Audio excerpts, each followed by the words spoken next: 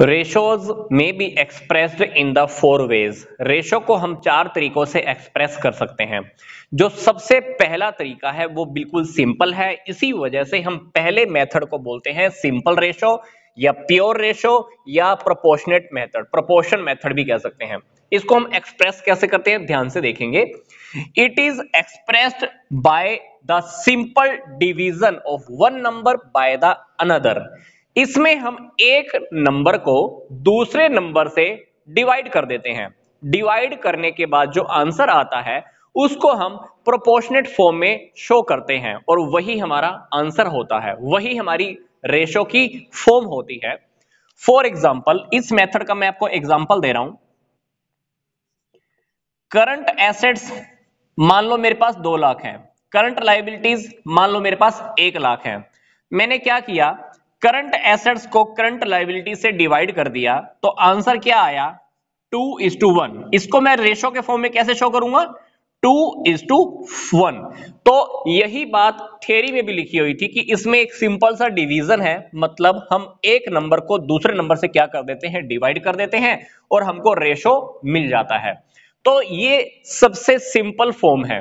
इस फॉर्म के ऊपर हमें आगे आने वाले क्वेश्चन में काम भी करना होगा। सेकंड देखते हैं। रेट और सो मैनी टाइम्स इसको कैलकुलेट कैसे करते हैं?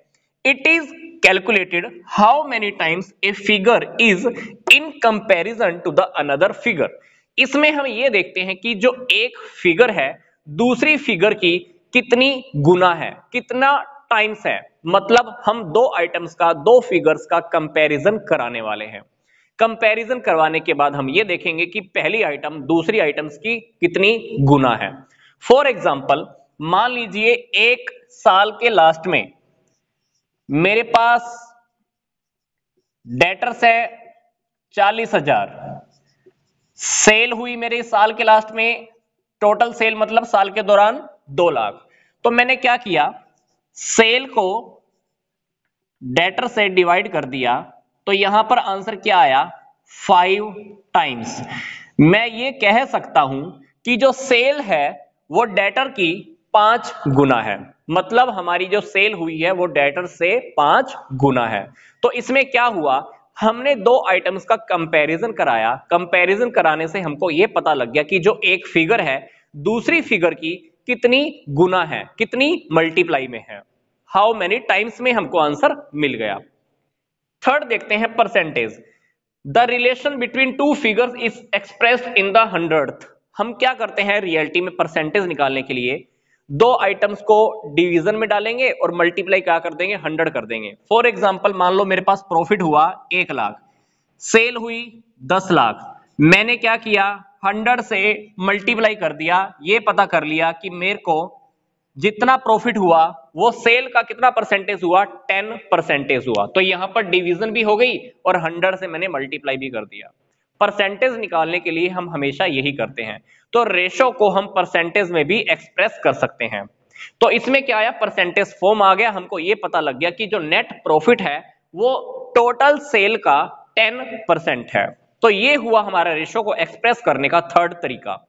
अब हम देखते हैं फोर्थ वे फ्रैक्शन इसके अंदर क्या होता है? फॉर एग्ज़ाम्पल हम ये कह सकते हैं ना कि जैसे नेट प्रॉफिट वन फिफ्थ है कैपिटल का। फॉर एग्ज़ाम्पल मैंने कैपिटल लगाई हुई थी पाँच लाख।